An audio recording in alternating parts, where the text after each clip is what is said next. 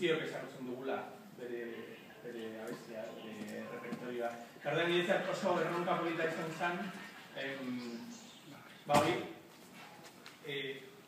lugar komun hau e, aurkitzeko eta bueno, lan egiteko, eta oso lan gogorra izan da, baina oso erronka polita eta betidanik buruan izan nuen erronka hau ez, ezakitagian e, ken zazpirekin, baizik eta e, beste taldeko edik, ze, Genesis edo Pink Floydekin, ba, horrelako proiektu bat egitea.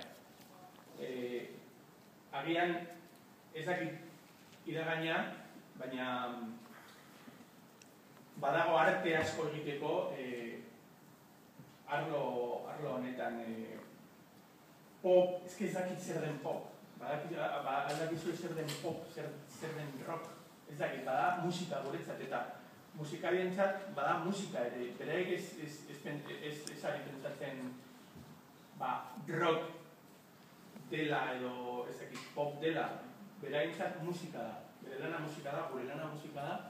musika egiten ari gara, eta nik horrela ez dakit nola esan, eh,